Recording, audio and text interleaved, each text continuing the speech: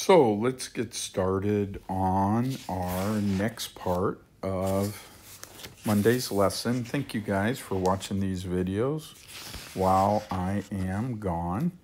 Um, make sure you do this homework. It will be due on um, uh, uh, Wednesday when I get back. Um, and we'll be finishing up chapter 4 between Monday and Wednesday. So there, there will be videos and assignment available for Wednesday. So make sure you bring all your questions on substitution, graphing, and eventually addition, method, and story problems because we're going to do all of it on Wednesday. So um, good luck with that. And um, let's get started. Let me write an example here. Okay, there we go. Our first example is 2x minus y equals 3 and 5x minus 2y equals 10. And what we want to do is the substitution method. And so the goal with the substitution method is to solve for one variable and then substitute that expression for the variable in the other equation. So what I'm going to do here is I'm going to put number one for sort of our step one. And this is solve for one variable in one equation. Okay, this is our first step. So let's do that first step. So which variable do I want to solve for here, x or y? Well, the correct choice is y, and I want to do it in this equation.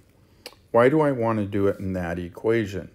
Because I actually don't have to do any division if I solve for y, any division except by 1 or negative 1. What that means is I'm not going to have fractions. And so that's generally a goal when you do substitution is try to avoid fractions if you can. Now, we'll do one where we can avoid it, and I'll show you how to deal with it.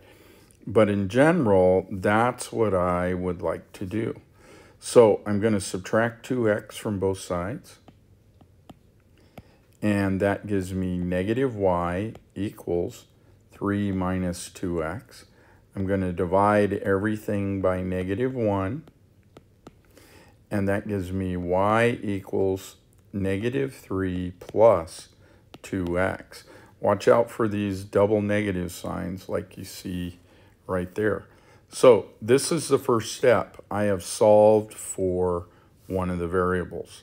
Okay? So what's step two going to be?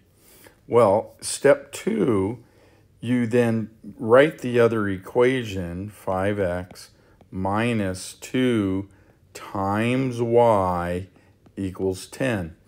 So I'm going to substitute this expression for y in the other equation. And so instead of y, I'm going to write negative 3 plus 2x. So I've now substituted it. So step two is called substitute.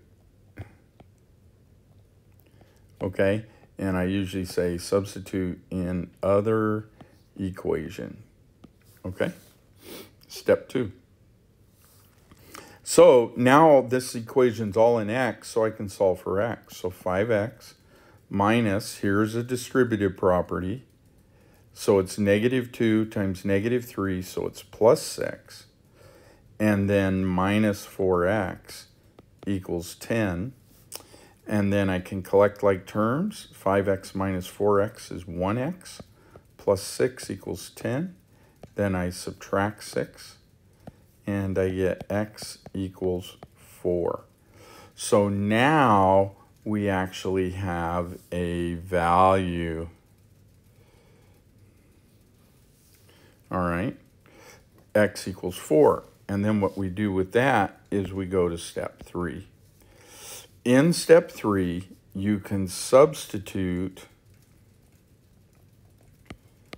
the value for uh, um, x or y. So if you end up solving for y, you substitute for y. In this case, we solve for x. So we substitute uh, the value we found for x in either equation. So in the, and probably I should put x or y in either equation. And this is our third step. So um, you take the 4 and you substitute it in for x in one of the equations. So 2 times 4 minus y equals 3. That gives 8 minus y equals 3. So we subtract 8 and we get negative y equals negative 5 and then we divide by negative 1 and that gives us y equals 5. And so we have now solved this system and we have a solution which is the ordered pair for 5. So don't just leave it as x equals y equals. Make sure you write the solution as an ordered pair. Now, what do we do with the solution? We want to check our work. So to check our work, we already know 4 and 5 work in the first equation. So check it in the next equation. 5 times 4 minus 2 times 5 equals 10. That's 20 minus 10 which is 10, so it checks. So I now know I have done this correctly. Okay? So I know I've done it correctly. So when you do this, step one, solve for a variable in one equation. Step two, substitute for that variable, what you just found, into the other equation. And then once you actually find a number for one of the variables, substitute the, that value for x or y in either equation and solve for the other value. That's step three, okay? So one, two, three, and then finally, I would say step four, check. Make sure your answer works in both equations. If you make a mistake on one of them, then what'll happen is it'll show up in the other equation all right, it'll show up as not working and then you'll know you made a mistake and you can go back and redo it. All right, let's try a couple more of these. Okay, sometimes what will happen is you'll get something like this where step one is already done. Here I have y equals 3x. I've already got an expression for y. So I can skip right ahead to next two, step two, and substitute that for the y in the next, in the other equation. So this will give me 4x equals 4. I divide by 4. I get x equals 1. So there's part of my answer. Then step 3. I put that in one of the equations. I'll do it in this one. So I get y equals, whoops, not y, y equals 3 excuse me, 3 times 1 is 3. So that's my other variable. So my answer is the ordered pair 1, 3. And I'm just going to check it to make sure in the other equation is 1 plus 3 equal to 4. Yes, it is. So I know I have done it correctly. All right, let's try the next one. Okay, there's our next equation. So step one, I want to solve for one of the variables. Now, notice I got a 1x and a negative 1y. So either x or y is a good choice. I'll just do x in this case. So I take x plus 2y equals 5. I subtract 2y from both sides to get the x all by itself. So I get x equals 5 minus 2y. Step 2, I want to substitute that into the other equation. So 2 times x, which is 5 minus 2y, minus y equals negative 15. So now I need to solve for y. 10 minus 4y, that's a distributive. minus y equals negative 15. So that's 10 minus 5y equals negative 15. And when I subtract 10 from both sides, I get negative 5y equals negative 25. I divide by negative 5, and I get y equals 5. So now I can go to step 3. Since I know y is 5, I can do x plus 2 times 5 equals 5. That's x plus 10 equals 5. So I subtract 10, and that gives me x equals negative 5. All right? And so now I have y is 5 and x is negative 5. So all I want to do is check that. And so I do it in the other equation. I do 2 times negative 5 minus 5. And that is equal to negative 10 minus 5, which is negative 15. So it checks. So I now know that my answer is negative 5, 5, ordered pair, and I have done it correctly. Okay? So there's a couple of examples. That's how you do these problems. Okay? So let's go to the next problem and uh, look at some other variations.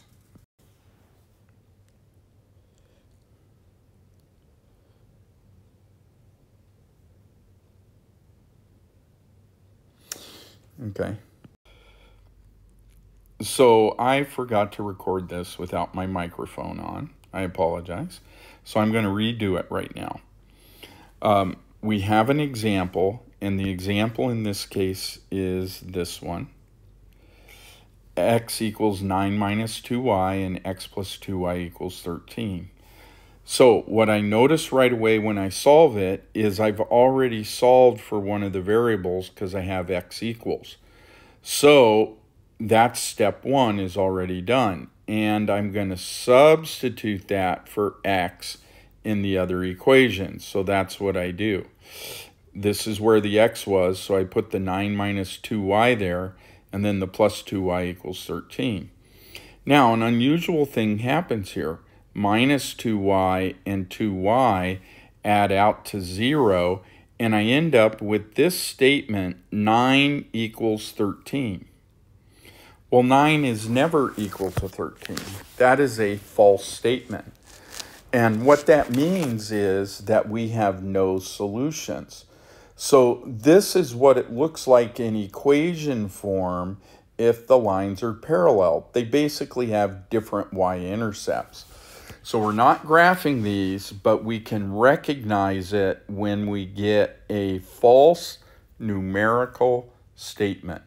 And our answer would be no solutions. So the next one, I change the equation slightly. I do x equals 9 minus 2y, and x plus 2y equals 9. So again, my x is fairly standard. I've already solved for it, so first step's done. I substitute it in the next one. But when I do that, I end up with 9 equals 9, which is a true statement all the time. Therefore, this is the case where we have infinite solutions. Now, the key to infinite solutions is you also have to write the answer. What do the solutions look like?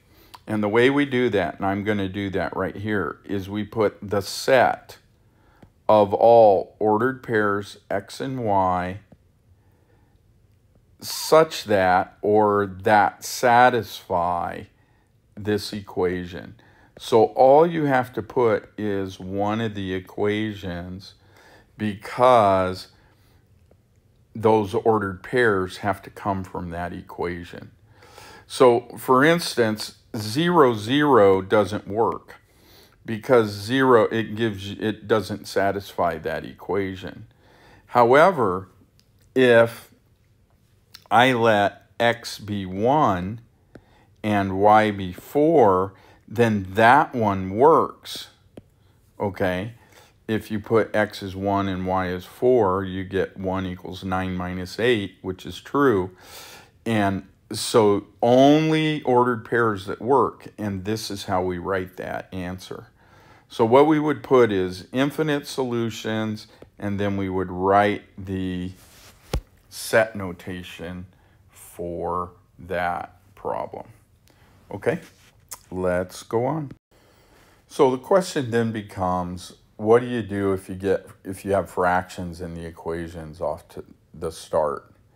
Well, what I would do, um, if you notice our step one is already done here, we know what y is, okay? So we're going to substitute that for the y in the other equation. So that's step two. So we already know y equals negative 1 half x plus 2.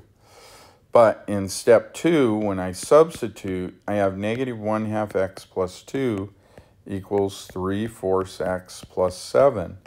And notice, this is like equations we got in an earlier chapter. If they have fractions, what do you do? You multiply each term by the common denominator, which is 4 in this case.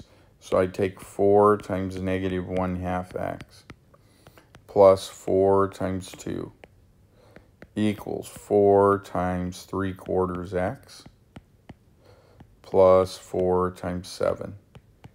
And when you do that, you get negative 2x plus 8 equals 3x plus 28. And now you can solve plus 2x minus 28. And I end up with a negative 20 equals 5x. I divide by 5. And I end up with negative 5 or negative 4 excuse me, equals x. And now that I have that, now I can go ahead and do step 3. So once I know negative 4 is x, I can put it in one of these equations. y equals 3 fourths times negative 4 plus 7, which says y equals negative 3 plus 7, multiplying those, which is equal to 4. So now y is 4 and x is negative 4. So my answer is negative 4, 4 as an ordered pair. And then I want to check it in the other equation. Is uh, 4 equal to negative 1 half x times negative 4 plus 2? Well, negative 1 half times negative 4 is positive 2, and 4 equals 2 plus 2. So I've done it correct. So I can go on to the next problem. And that's how you check. All right? So if you have fractions, that's what you do. Um, the only other thing that they do in this lesson is they do um, some story problems, some math riddles, where you're going to write two equations. So for instance, the sum of two numbers is 81. So x plus y equals 81, two numbers, sum. One number is 41 more than the other. So you can say x equals y plus 41. So it's 41 more than y is equal to x. So there's your two equations, and you can work it out from that point to solve it. Okay? That's the main trick. You'd solve it the same way we've been doing, but that's pretty much your assignment in this case. So good luck, and we shall talk to you later. Bye.